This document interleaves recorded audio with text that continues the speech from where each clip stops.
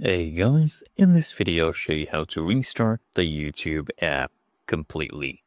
Okay, so usually of course you can come here and click on these three horizontal lines at the bottom left and close it like this.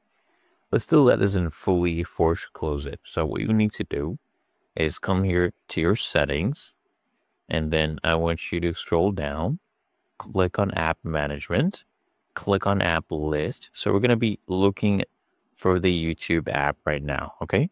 So of course we need to scroll all the way down because YouTube is Y. All right. So I'll scroll all the way down here. We see YouTube. So go ahead and tap on this. And then all I need you to do is here at the bottom right, you'll see this option that says force stop. Okay. So once we force stop it, you can come here and click on OK. Now it's completely closed, okay? YouTube is completely closed and I can go ahead and open it up again. And there you go. It is just visualizing as you can see.